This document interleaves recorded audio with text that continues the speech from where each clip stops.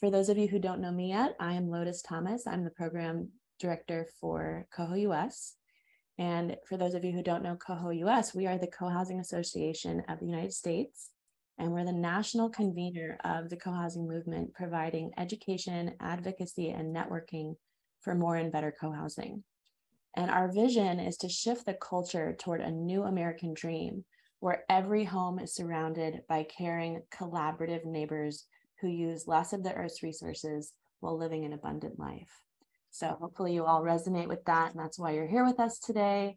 Um, we also are spearheading in 2023 a learning platform called the Co-Housing Institute.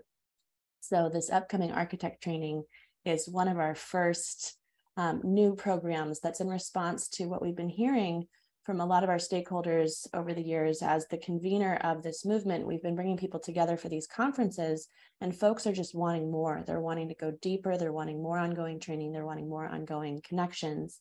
And we did a virtual keynote for the kickoff of the co-housing institute in december where we heard from grace kim as well as other leaders in the movement that one of the keys that we need to grow co-housing in the united states is we need to train more architects. I think grace um, estimates we need at least 100 architects for us really to catch up with Europe and, and to get the US co-housing movement um, on track to, to achieve this vision. So thank you all for being some of the early adopters of that.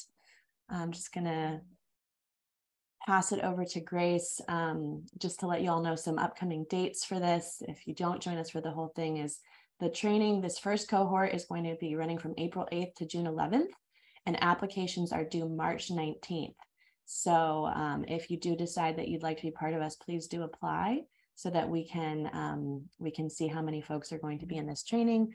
And today we're going to be hearing from renowned architect and co-housing leader Grace Kim, um, and she's going to share a bit more about the background and um, what this training is going to entail. And then at the end, we'll have some time for Q&A from all of you. So feel free to write um, any questions or thoughts that come up throughout the presentation in the chat window and and or Kayla can help to um, moderate the Q&A at the end. So I'll leave it there. Thanks so much, Grace, for your leadership and excited to hear from you today. Thank you. Um, okay, so I am going to start. Um, I, I brought a few slides with me um, to sort of introduce the topic and kind of why um, why this session is coming into being. Um, and then thought we could have some time for Q&A. I was going to just do Q&A and I realize that this early in the morning for some of you and just um, since everybody's new to each other, I didn't think it would be likely that people would jump right in with questions um, if we started off with an open, open format. So um, as Lotus said, please go ahead and fill, uh, type in questions as they come up um, and either they'll get answered for you um, via Lotus and, and, Kayla, or I'll take a look at those um, and use that to start the Q&A at the end, okay? Oops, I should start with sharing my screen. Okay. There we go. All righty. Um, so really quickly, my, my husband and I, um, Mike Mariano and I um, have been working uh, in the co-housing sphere for probably the last 15 or 20 years um, since starting our firm in 2004. Um, I've been uh, in and around the co-housing movement um, in various different capacities as um, an architect, as a founder of my own community, um, and working with the Co-Housing Association for um, a, a, good part of, since 2006, I think. Um, and our firm is based in Seattle. We're a 15 person practice, pretty diverse uh, body of work. Co-housing is not the bulk of our practice. Um, it's really difficult. You can talk to Katie and Chuck. It's really difficult to um, to run a practice around that um, that housing model, but there is lots of interest and hopefully seeing all of you here um, heartens me to, to hope that there will be um, lots more architects working in this arena. Um, as I indicated, I do live in co-housing. I'm the founder of a community along with my husband, and we live in a nine unit community in Seattle, Washington. Uh, this is our neighborhood. You can see downtown Seattle in the distance. Uh, we're just a 20, 20 minute walk downtown. Um, we live next to a really great park in a really urban neighborhood. Um, our structure looks like this. Um, we have an internal courtyard where you can see your neighbors coming and going. the courtyard is the source of activity for our group. Um, lots of things happen there. Um, and even though we're on a very small footprint, our lot is 4,500 square feet, so smaller than a single family lot in Seattle um, and in many parts of the country. Um, we packed a lot of program into it. So we've got nine households living on site and our office on the ground floor. Um, I wouldn't mind seeing a quick raise of hands or you can use your, um, your um, you can physically raise your hand or you can use the reaction button. Um, how many of you already have a good idea of what co-housing is?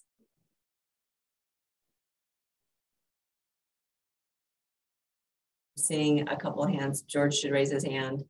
Um, okay, so uh, thanks, buddy. Um, so it, the vast majority of you don't know what co-housing is or have heard the term or somebody has said you should go to come to the session and learn more. So I'm just going to do a quick, I don't even remember if I have, oops, no, I didn't even include that. Okay, so what is co-housing? Co-housing is um, an intentional neighborhood where people know one another and look after one another. And as Lotus said, hopefully, you know, you're in a neighborhood surrounded by folks that care and know know you and care about you. Um, the physical structure is any, anything. So it can be single family houses, it can be duplexes, it can be um, uh, an apartment building or a condo. Um, and the ownership is generally, generally it is owner occupied, but um, like I live in a building where it is, the residents own the building, but we're all renters of the building. So, uh, and then there's a few rental models and, and um, models that are uh, something in between, co-ops and things like that. Um, so the ownership structure isn't really important and the physical structure is not really important in terms of the, the structure. Um, we can talk about layout, uh, you know, separately. The layout is very important um, of the units and of the site. Um, but really what makes co-housing different from other types of housing is the intention that people come with, intention to, to live together, collaborate. And when I say live together, they're not living in the same house. Everybody has their own home everybody's got their own private personal space, much like where you might live today. Um, the benefit is that they have um, just outside their doors, they have community space, common spaces that they share and, and work on together. Um, and they have neighbors out their door that are willing to, to lend a helping hand or to sort of um, participate in, in a fun activity or celebration at a, at a moment's notice. Um, you will notice maybe that I'm using just one hand. I have broken my collarbone. So if I grab my shoulder or I'm not moving my right arm, it's because of that. so just note that. Um, and uh, yeah, so um, what is co-housing? So, and, and I will note that one of my reasons for starting um, this training program is um, inspiration from the founders of the co-housing movement. Um, in the US, uh, Katie McCamant and, and Chuck Durrett are the founders of the co-housing movement. They introduced the US to this idea in the late 80s. Um, and it's an idea that they learned while they were studying in Denmark. Um, and so, and, and you know, they were sort of the, the go-to for co-housing for a very long time. Um, and Katie in the last, I think, maybe eight or nine years, has been working to increase the number of folks that are working on the development side of co-housing people that can help with the uh, marketing, with the development, sort of the evangelists um, of co-housing. And I was talking with a, another co-housing architect, Brian Bowen, and, I are good friends. Um, Brian works in, in, Boulder. And we were talking about um, how everyone's getting older, including ourselves, um, and that the handful of architects that have been currently working in co-housing um, up to this point are aging and you know at some point we are not going to have uh, the numbers that we have now. And the numbers are small. I will say there's probably a handful of architects that have done um, more than one one co-housing project in the in the nation in in north america. Um, and then there's probably like a hundred plus that have done one and no more. One and done that's what i call them um, so as katie is trying to increase the number of folks that are participating in the co-housing movement through her program called the 500 communities um, Brian and I were talking and said, well, it's not enough to have, you know, all these developments, developers, marketer, marketeers, um, sort of burning souls who are wanting to initiate co-housing, who's going to actually help design them? Um, and the current model of there's only a handful that are going to do all of them, that's not a great model. Um, partly because I don't want to have a practice that's global. I'm very interested in having a local practice. We do get pulled, to different parts of the country to help consult on projects. Um, and that's what I do. I consult and I try to par partner them up with firms locally that are interested and able to do the work. But realistically, it'd be great to have architects locally all around the country that are interested in doing the work, able to help uh, forming communities get started and um, and then have a network of folks to draw upon, um, as well as some some coaching or some um, guidance from folks that have done it before. Um, because I I've found that it's daunting for many people, um, and I'll talk a little bit about why and, and all that. Um, but if you have, like with anything, you know, if you were to design an airport or design a school or design a museum, then you've never done that before. Having somebody there to help guide you through that process makes it a lot easier to navigate. Because as architects, we can just solve all sorts of problems. We can figure stuff out. We know how to negotiate the permitting process and things like that and the design process. The thing that's different about co-housing is just the, the people process the group process that we're not trained in, that we aren't familiar with, that many of us think it's a pain in the butt. Those are the things that are different about co-housing. So, so why co-housing? Um, I did a TED talk in 2017, and one of the things, and I've been working in the co-housing movement for since 2004 or before.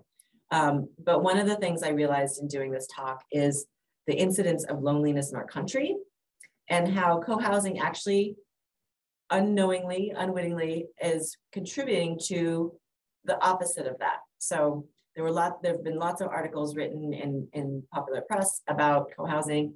One of the folks that were at, was at the TED Talk or the TED conference the same year as I did was, um, was a social scientist and she was talking about the same study that I was looking at. Um, and both of us were realizing that the longevity of life that, that researchers around the country, around the world actually, we're looking at, um, but the data was, was sort of consolidated by a, a, an academic in Utah. But basically what lots of folks were finding was that more than the typical things that people were um, paying attention to in terms of health outcomes for longevity of life, like, you know, not smoking, not drinking, exercising, being healthy, all those things, those are good, good and important. And one of the things that was even more important in, in determining how long you one might live was the number of relationships they had, the close relationships they had, and how well integrated they were in their communities. So co-housing does that without any effort. Um, so how is it different than other types of housing or other types of projects? Um, I would say this is the typical owner architect contractor relationship that you all are used to working with. Um, co-housing is kind of like that, except that instead of one owner that's making one decision with one head, and I get that some of you might work in other areas where you might have a committee or a board or a multi-headed client group. Um, the difference is that when you're talking about something very personal like a home and where somebody's going to live for a very, very long time, um, those are not folks that are used to making big decisions with big amounts of money. There, um, most folks in that category in co-housing have not ever designed their own home or done a home renovation. So anything in this realm feels like rocket science, something that feels very foreign and different and unusual from the normal things that they do. So you're dealing with a bunch of different owners. Um, and the architect not only serves in that role, uh, our tr traditional roles, but we're also facilitators, mediators, translators, and counselors. Uh, when I talked with my friend who's an architect um, in the Bay Area about working in co-housing, and she does mostly single family projects, she was like, wow, that sounds like marriage counseling times 30. I'm like, yep, it's kind of like that. It's, it's a lot of group process work. In addition to this, you've also got sort of the unusual suspects in terms of consultants. You've got co-housing consultants, um, you've got process consultants, and there might be a host of other for folks that you are not used to working with um, in a typical project. This isn't on top of your normal engineers, landscape architects, whomever you have on your project teams. The road to co-housing is not a linear path. It's uh, very much of a, um, this looks like more of a shoots and ladder kind of situation, but there are times where you're constantly cycling through parts of the process as new people come and go, as um, new sites are found or lost. Um, and so there is a very um, non-linear route in terms of project development. So there's a lot of um, folks sitting around the table, folks that have never been engaged with a development project or development process before, trying to help, you're trying to help them navigate through this process, not just from a design standpoint, but sometimes from a, just a development standpoint. And some of you might be familiar a little bit with development because of your clients and the work that you've done, and some of you might not have any insight into that at all.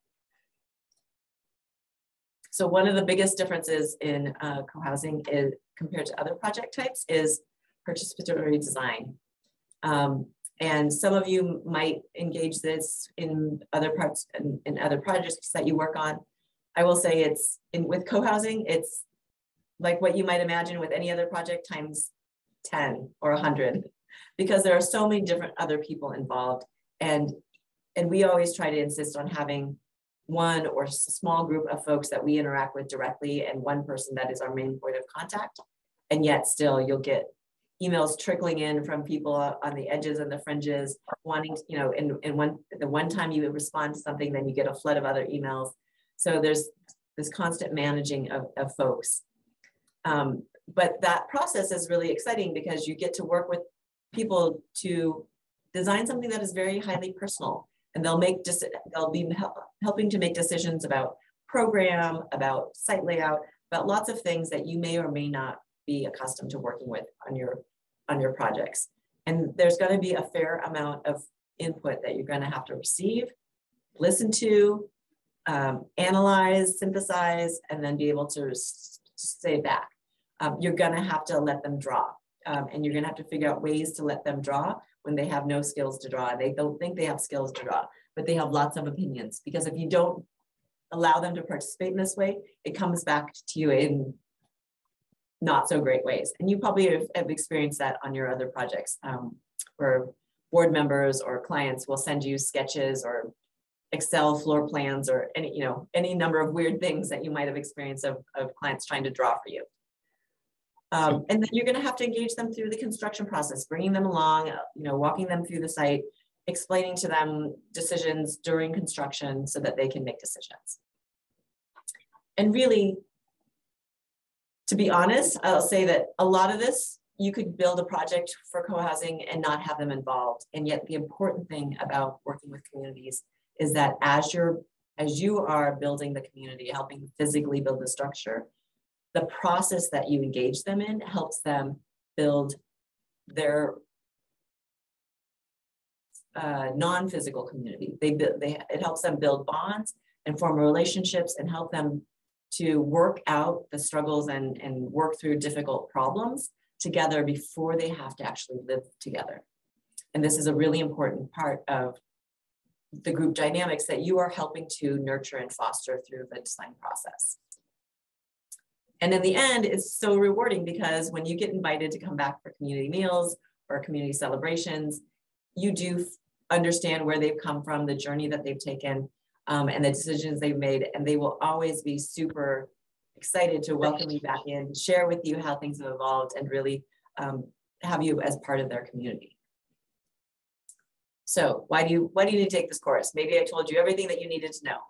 Well, hopefully the thing, like I said earlier, the hopefully what I will be doing is helping, I'll be sharing it with you my pro tips.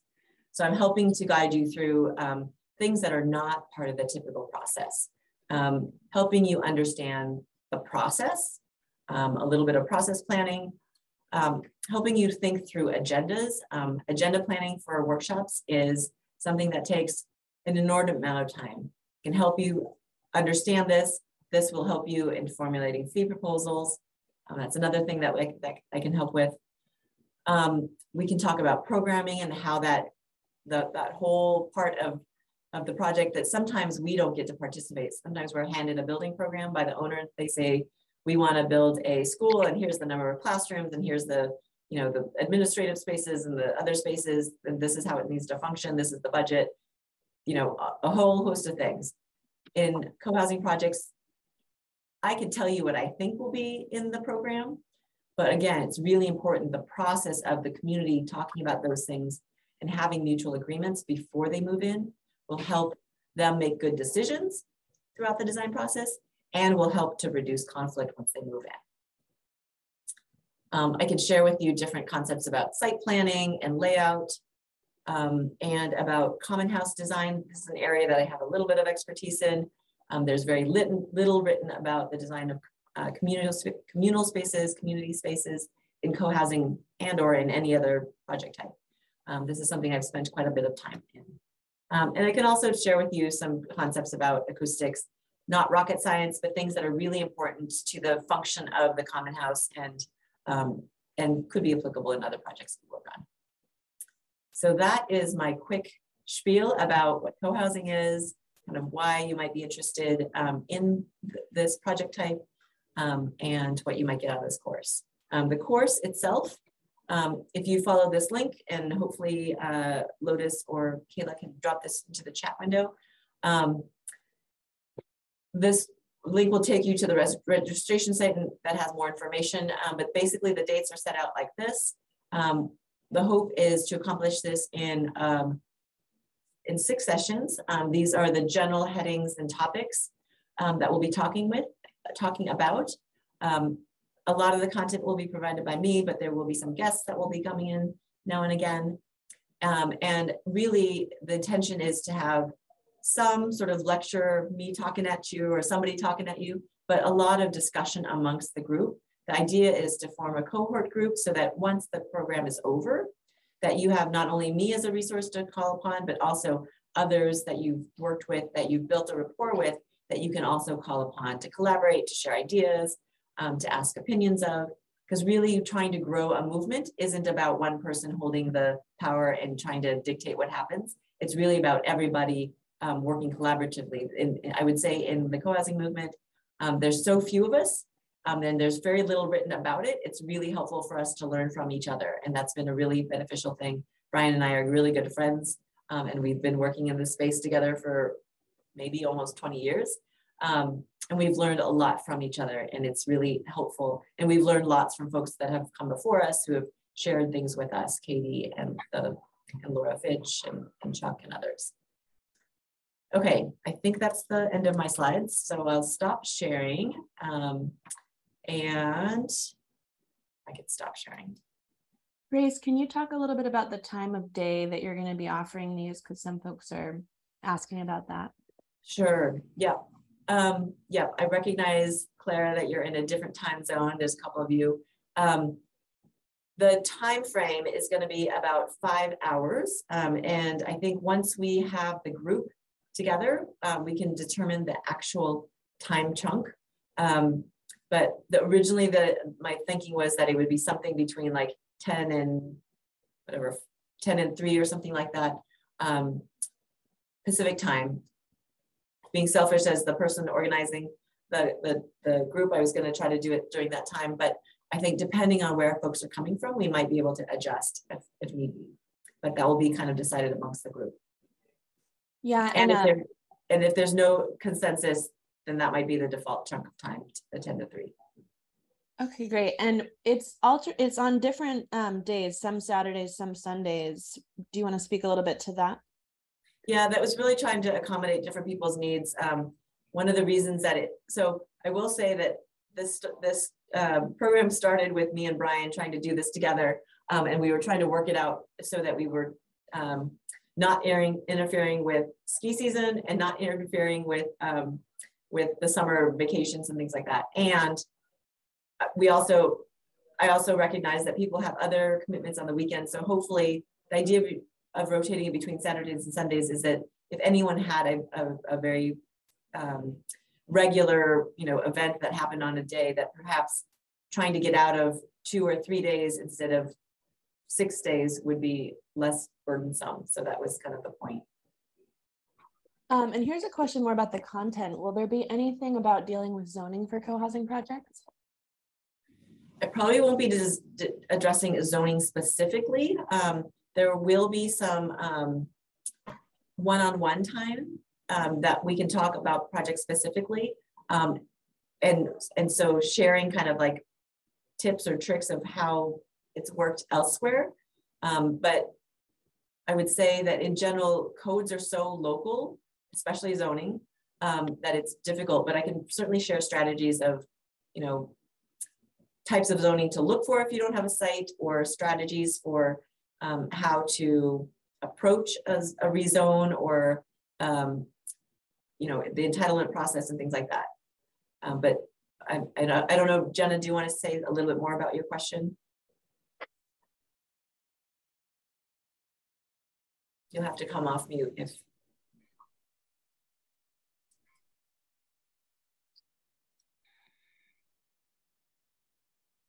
Okay, Sorry, I, I'm not I'm not used to this, but um, so I was just hitting all the buttons. Um, yeah, because I feel like zoning is uh, one of the biggest challenges to finding any kind of alternative housing models or or proposing or you know there's lots of hurdles but that's kind of the first one i usually hit. Yeah my advice to any group starting up is don't try to change zoning buy a piece of property where the zoning is in place to do what you want to do um, that's because it's going to be a long process as it is right just yeah. the, group process adding another six to 12 months for a rezone is not not helpful to anybody. Kind of a deal killer. Yeah. Yeah. I mean, in, unless there's a really strong reason, like if there is a group that wants to farm a lot of their land and they and somebody has the property, great. But but aside from something like that, like I a group that's trying to make it out in the, the wilderness alone, um, good luck. I will speak to this that we do have um, later this spring, the Institute will be hosting some meetings um, that will be focused on advocacy at both the local zoning level as well as federal policy, because in Europe, there's been federal policies that have really streamlined getting co-housing developments in place, but that's definitely a different aspect of the Institute, but do stay tuned and join our mailing list if you wanna be involved with that part of the conversation as well. Um, and yeah, I'd love to speak to this question uh, by Ozzy. Will we offer any form of certification or a directory of people who've completed the course? And that is more of a Coho US Institute um, aspect that we're exploring right now. But one of the things that the Coho US, um, one of the ways that we're kind of unique in what we're doing in the co-housing movement is we actually are really strongly supporting the professionals and we do, we get 70,000 visits to our website every month of a lot of people who are wanting to hire professionals. So really expanding upon our professional directory is one of the goals for 2023. And absolutely people who complete this training will have a sort of badge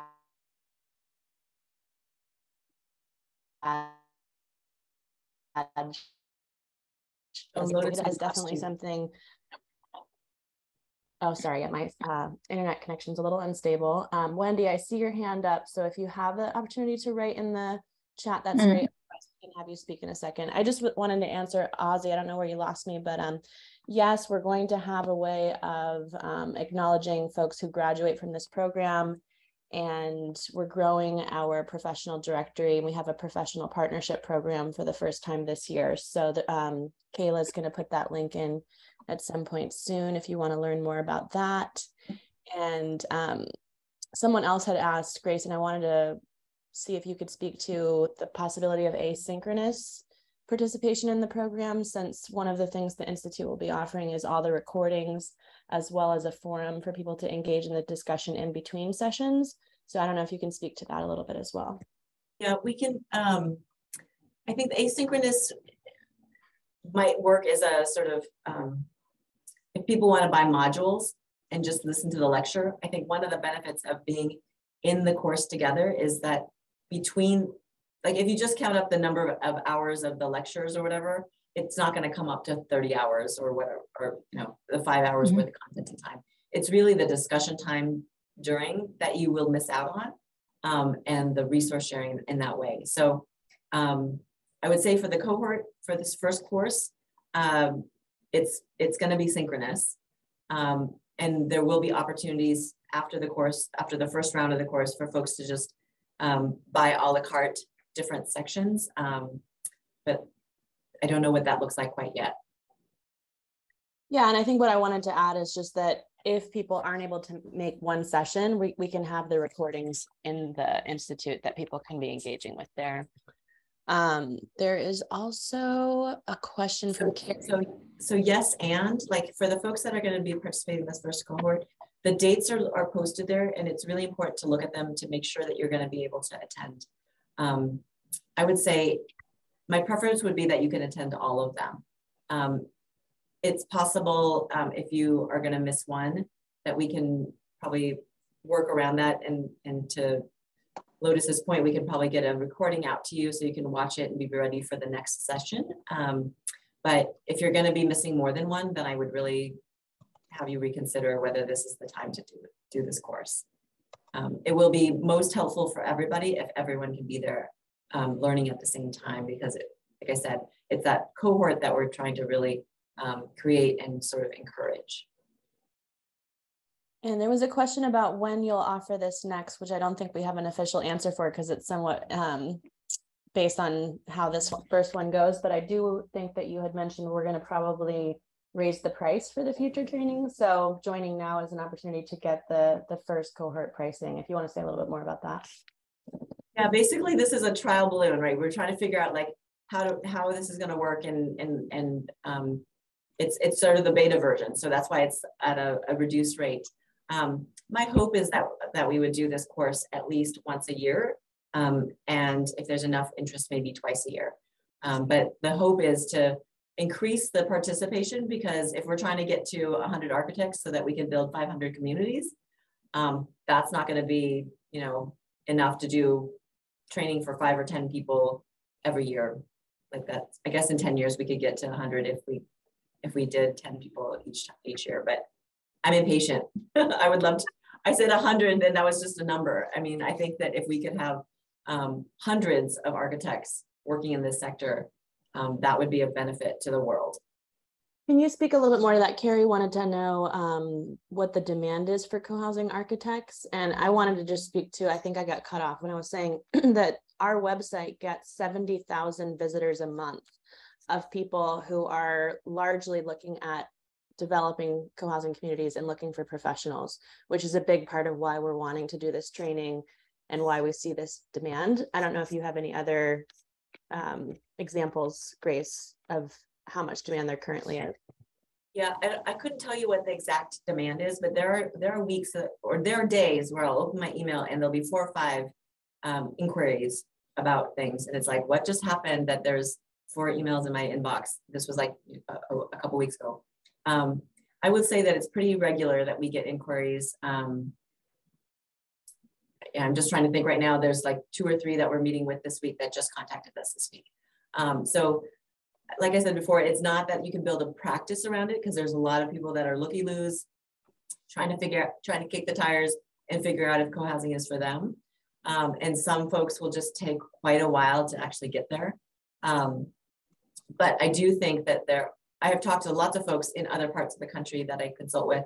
Um, and sometimes they come to me after having worked with somebody local and it not working out. There's lots of folks that are trying to do things locally because it makes sense. You know, the local architects know the codes, they know the contractors, they know the, the construction te techniques that are appropriate for their climate. Um, and like I said, there's it's a, the process is not typical. And so um, there's a lot of wheel spinning and churning and frustration that happens um, and, and we're trying to avoid that. So I, I couldn't tell you how much demand there is out there. There is, I think there's probably, Lotus, you probably know the numbers of the forming communities. I want to say it's like over 100.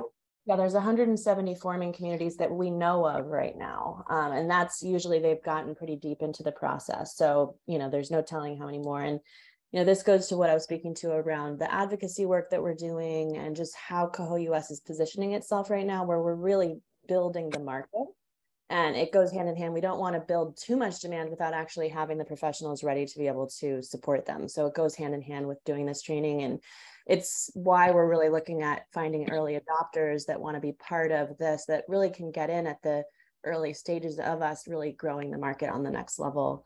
Um, we do have some other questions here. Um, just to answer, answer Wendy briefly, she said it would be useful to be able to replay the recordings. Um, absolutely, that's part of what the the Institute's offering. Um, I saw Mackie ask. with the- My previous question. Oh, yeah. Go ahead, Wendy. Oh, just what is the, when does it start as far as like time and end? I, I saw that it was four hours, but like which four hours? So that's what I was saying. Once the cohort is identified in terms of who's going to be in the group, then we'll um, discuss the, the actual time. My default is 10 to 3. So that's that would be when that when I would in, in Grace's perfect world, that's when we would start. But if we get folks from Europe or if we have folks from the East Coast, we can we can discuss amongst the group to see if we want might want to adjust it a couple hours um, one way or another. So that's Pacific time, 10 Pacific. to 3. So that would be what, 2 o'clock my time, 2 to 6? I don't know where you are. East Coast. So, yeah, that'd actually, like that would work better for me. One to one to five. One to One to six. five.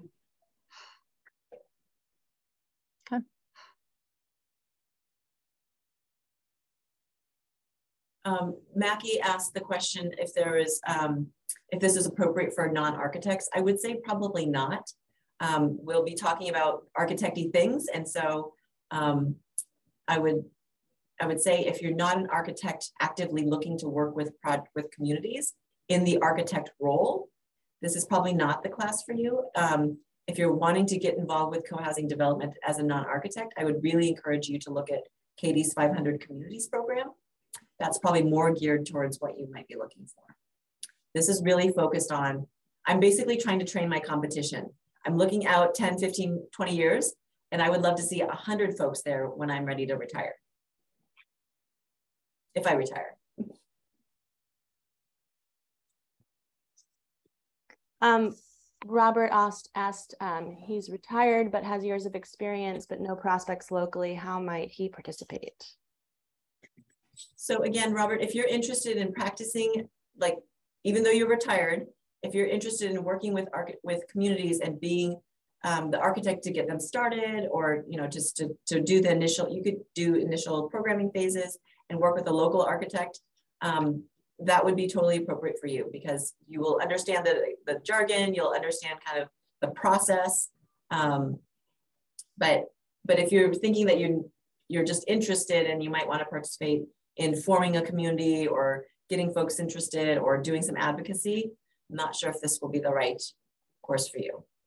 And I'm saying that because it's a big investment of time and a big investment of money. And I want I want to make sure that you're using your, your time and money in an, in an efficient and appropriate way. Deborah asked, is it appropriate for architects to learn more but don't have a prospective client? Certainly, I would say if, even if you don't have a client, I would say most, I don't know, maybe maybe I'm making assumptions. Um, I would love to see a raise of hands or you could drop in your, your the chat window if you have an active client. But I'm hoping that this is for folks that are either looking to expand their business or get into a new line of business. Um, architects that architects tend to be ones that help initiate or help um, a, a, community, a, a, forming community move forward just because we have problem solving skills. That's what we were taught in architecture school is how to solve problems. Um, so we generally have good intuition about how to move people forward. And so um, I would love for architects anywhere in the, in the world, as I say country, but anywhere in the world to have a group come to them say, I have this idea, how do I, how do I get started? And it might mean that you say, go find a developer or go find land but you need to know the steps of the process so that you can do those things. Um, because I think there's too many folks that are being contacted now by folks that say, I want to build co-housing and the architects are saying, what, what's co-housing? And they, you know, they, they just translate that in their mind to, oh, it's this type of housing that we're accustomed to doing. Um, and then, and then running into some, some difficulties. So um, I'm hoping to get folks trained and ready to go so that when they have these prospects or to be able to put out there a call to say, hey, you know, we're doing an info session on co-housing, come and learn more about it. Um, and that might inspire folks to take this first step or to find each other so that they can make the first step forward. So yes, Deborah, come. Yeah, I'll just echo that. I, I had our um, advocacy interns helping us to get the word out about this because actually having professionals driving this process is a really key aspect of the advocacy and it gives credibility to the movement and vice versa. And I saw from a lot of people that were interested that are joining this um, info session right now, you all are interested in what you can do, what kind of design is going to be the most ecologically and socially sustainable approach, which is really important on a larger advocacy level. So that's really why our vision isn't just about a specific co-housing development, but actually achieving a certain quality of life through co-housing inspired design. So whether you're directly doing a co-housing community for a co-housing client, or you're borrowing from some of the co-housing skill set and design approach to be able to integrate that into a multifamily development or other kinds of plan unit developments that may have not an exclusive co-housing bent, but that you could actually borrow from some of this design and also be working with peers that are also focused on social and ecological sustainability, that you're really kind of creating a little subculture um, for your design approach that will set you apart, whether you're doing co-housing exclusively or just something that could be influenced by it and kind of be a competitive advantage for folks that care about social and ecological design aspects. Yeah, and to that point, like we, I, I jokingly say to our clients and our staff, we will sneak in co-housing principles to lots of our multifamily projects, even when they're not co-housing. So we work in a lot of affordable housing. Um, we work in some market rate housing, mostly community oriented um, or yeah, community oriented or community initiated projects that might not be co-housing. Um, but even in our, you know, recreation work or, or um, other project types, transit work, um, in our process, uh, we use a lot of the co-design or participatory design processes that we would typically do in co-housing. I use a lot of those in our other projects. Wendy, um, do you, still have your hand up? Is that, um, you, do you just need to lower your hand in the, in the icon or do you have another question? Okay. Um, Ozzy asked, as a practice model, do you typically have at least one co-housing project in process? Hmm. I guess. Um, there, one, at least one in some phase, um, and that might just be consulting. Um, right now, we are working on, we're just trying to, we have been trying to wrap up for a while, um, construction on a project in Anacortes um, that is mostly a senior group. Um, we are in permitting stage right now for a co-housing development in Marysville. These are places in Washington, sorry, that uh, is in, in the permitting process right now. Um, both of them are very different in form. One is a, a small cottages, 1200 square foot units, um, homes uh, spread out on a, a, four acre parcel. And then the other one is a combination of townhouses and stacked flats. And then we're consulting with a group um, in Pennsylvania and I've done various like our practice, our, our co-housing work tends to be a, a sort of a wide gamut of things. It's like straight up architecture, you know, uh, site planning to construction, um, as well as uh, review of common house plans for different groups or um, review of site plans or just consulting um, in a broad sense. So it's it's a variety of things and those are the kinds of things that we can talk about um, in the cohort, um, what some of those practice models might look like. Great. Um, and I would love for other folks to ask more questions. If you have any, I do want to um, share a couple things that are coming up with Coho US. I'm um, just going to share screen here. My internet connection will let me. Um, so like we talked about, there's the um, application deadline for the training on March 19th. Um, someone said the tiny URL may not be working, so Kayla can put that um, link in there again. we also, I had mentioned before that we have a professional partner program and professional partners actually save 25% on this training. So it actually covers the cost of the partner program um, with your savings. And we're going to have an orientation that I'll be leading next Wednesday.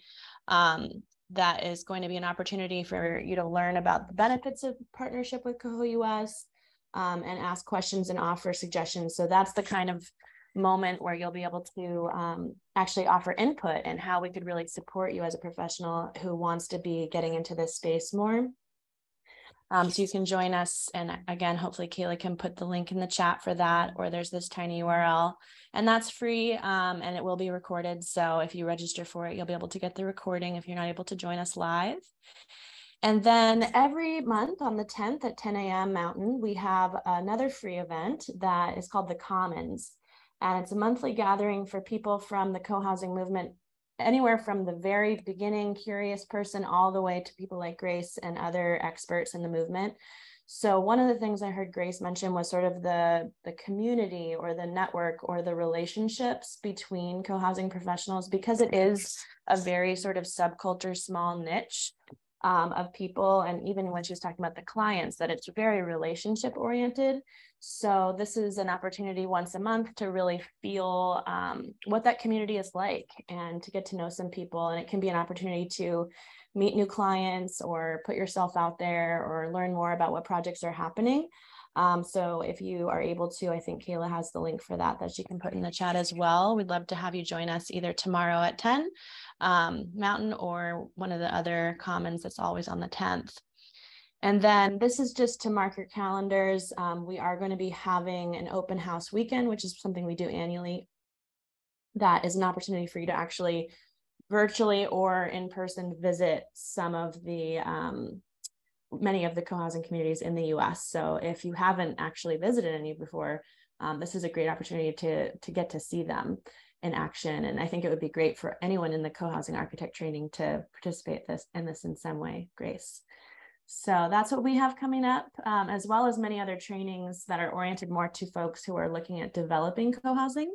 So um, cohousing.org and cohousinginstitute.org are great places for you to go and check out our upcoming offerings. And we do have um, an early registration discount for the other institute trainings that ends tomorrow. So if people want to look and, and get in on that, the discount is March 10 for March 10th. Um, and I know that's a lot of information, but if you have any questions, I'll put my email and you're welcome to just email me directly. Um, and yeah, just so, so excited to have so many of you on the call with us today and that we're going to be hosting this upcoming training for the beta launch and just so grateful for you, Grace, and your leadership. And, and I'll just make a, another plug for the um, the the partnership, the uh, the partner program that Lotus mentioned at the beginning. So not only does it give you a discount to this course, but it gives you access to lots of um, previously recorded conference sessions and talks so that if you are new to this um, this concept and want to learn more, um, or you want to learn about the, the groups, the process side of things, the group side of things, um, there's lots of uh, recordings from previous conferences. Um, Coho US did a great job when the pandemic hit. They pivoted instantly to doing online um, conferences and did a number of sort of mini conferences, a couple, I think three of them throughout the year for the for the first two years of the pandemic. So um, there's really good content on, on there um, that you can have access to. So I would highly encourage it. It's a it's a good deal. Like like she said, it will cover the cost of your um, partnership membership.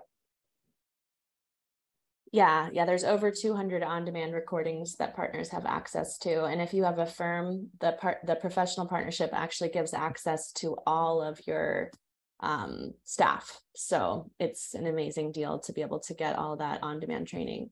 Um, and I'm the partnership coordinator. So if you're interested, besides joining us on the Zoom next week, you can also just email me and I'm happy to have a call with you and, and just share more and see how it's a good fit. We also do have a sponsorship program um, Schemata Workshop is one of our sponsors or supporters um, that actually gets a lot of visibility. We advertise directly for them on the website, which again, with 70,000 visitors a month, it's it's really great exposure. Um, so yeah, that's that's one of the ways that we're convening this movement is really helping to connect the potential clients with the professionals and then the professionals with each other because it does seem like part of the culture of co-housing is more of this cooperation, cooperative lifestyle, and that you see that also in the professionals that are really cooperating and working together. It's rare that there's just one professional working on a project that usually it seems like um, Grace was saying people are consulting with one another. And so I really see um, both this training and what Coho US are doing as a way of really fostering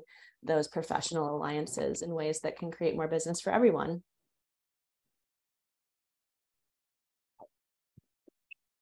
Any No. other final questions?